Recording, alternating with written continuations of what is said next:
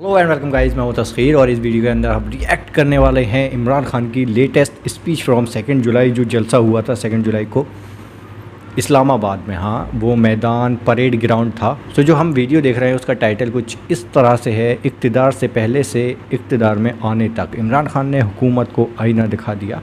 चलो बिना देरी के स्टार्ट करते हैं इस वीडियो को और देखते हैं क्या स्पीच है उनकी। आ, क्योंकि बहुत लंबी स्पीच होती है बहुत बड़ा जलसा मतलब कई घंटों का होता है तो पूरे पर तो हम रिएक्ट नहीं कर सकते। बाकी आप जो हमें शेयर करेंगे कुछ अच्छी अच्छी सही सही इंपॉर्टेंट चीज़ें उस पर हम रिएक्ट करते हैं। सो आप इंस्टाग्राम पर हमें फॉलो करें लिंक डिस्क्रिप्शन में है वहाँ जाकर आप हमसे कुछ भी शेयर कर सकते हैं। सो चलिए वीडियो स्टार्ट करते हैं let's start the video now हमारी मुझे यह बताएँ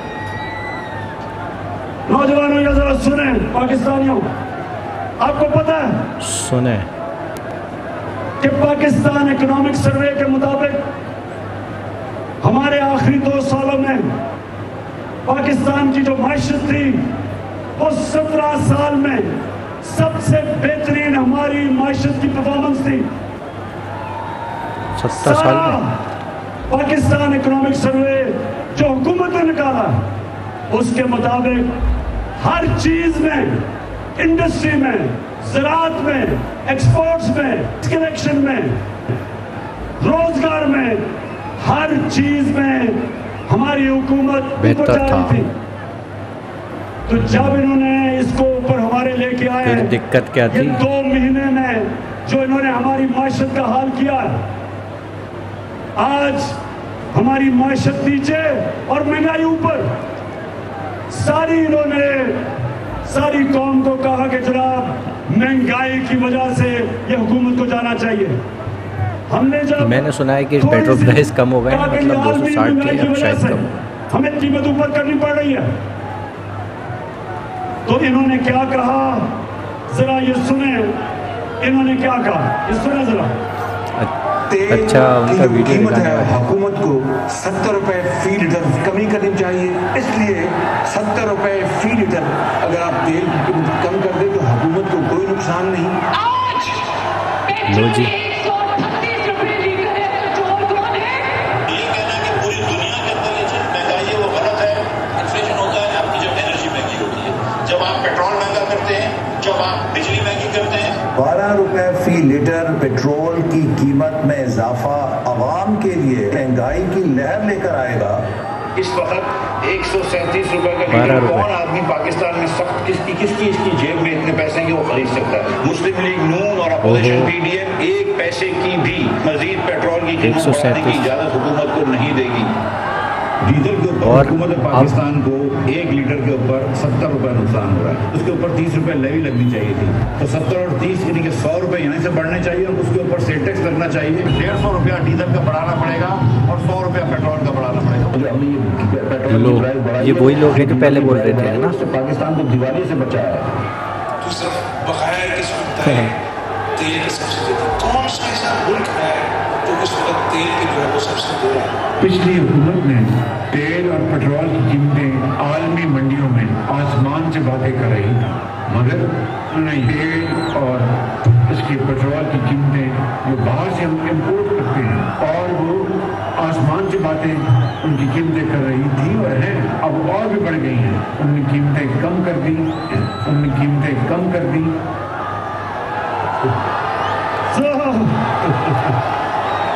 अल्लाह अल्लाह का सच का खुदा है पहले कह रहे थे कि जी बड़ा इन्होंने तेल बारह रुपए तेल बढ़ाया तेल की कीमत बहुत ज़्यादा महँगाई कर दी और इकतदार में आके आके कहते जी इन्होंने तो तेल की कीमत पेट्रोल की कीमत कम की हुई थी। ये बहुत फनी चीज़ है यार। आपके सामने ये प्ले कर रहा हूँ है ना है फनी है यार ये। महँगाई इनका मसला नहीं था अब बोल रहे कम महँगाई कम मसला कर नहीं था। इन्होंने अपनी चोरी बुछारी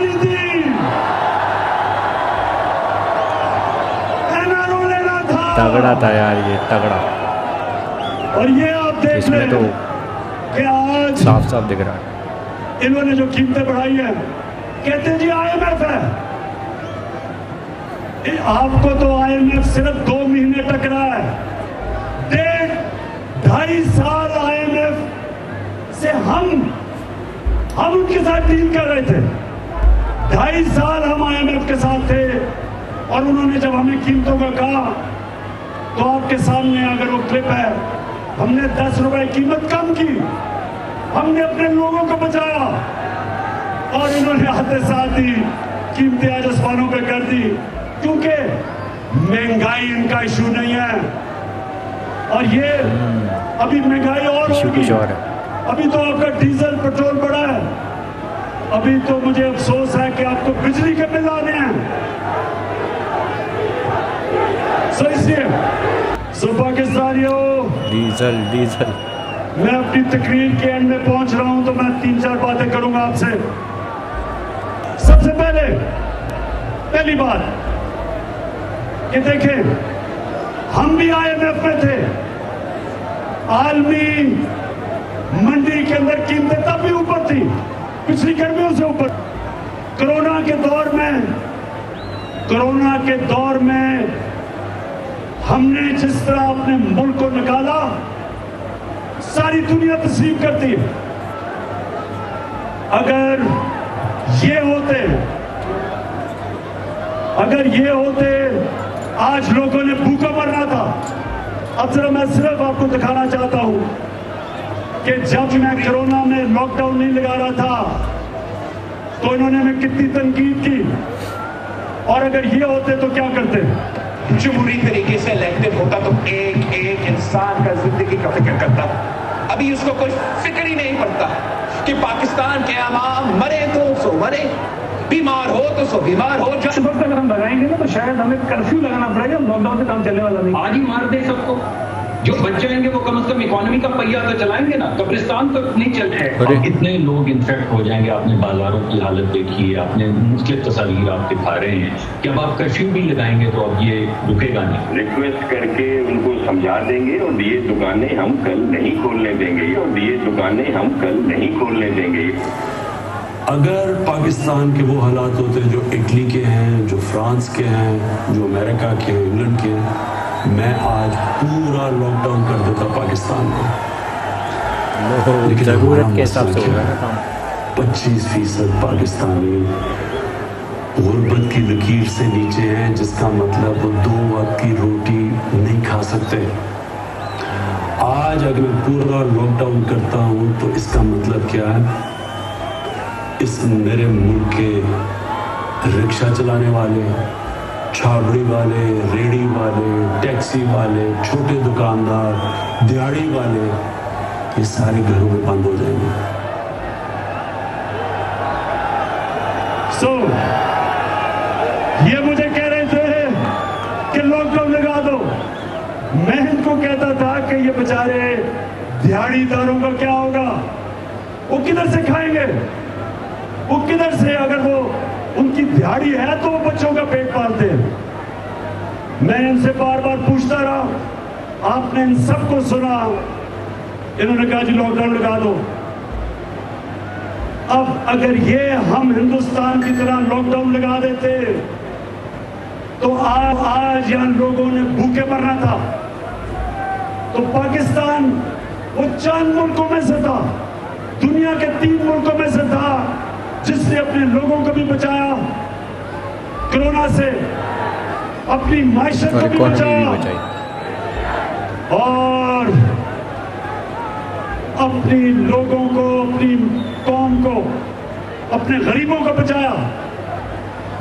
तो मैं आज इसलिए आपके सामने खड़ा हूँ कि हम आज फख्र करते हैं कि साढ़े तीन साल में जो हमने किया, मुश्किल वक्त निकाला और आज इन तो दो महीने के गवर्नमेंट ने क्या किया? ये इमरान खान की स्पीच थी एंड इसके अंदर आप क्लियरली मतलब मुझे भी यही लग रहा था कि यार, उस टाइम पे जो कितने साल हुए तीन साल या चार साल इतने देर में, इतने दिनों में, इतने सालों में, इतनी तेज़ी से तो पैसे नहीं बढ़ते हैं ना। कभी भी कोई भी गवर्नमेंट चेंज हुई हो, एकदम से पैसे बढ़ा दिए, एकदम से कम कर दिए तो हल्के हल्के लेकर चलते हैं हर कोई, क्योंकि इकोनॉमी का सवाल होता है, उसको देखना होता है चारों तरफ़ से कि क्या है, क्या नहीं है।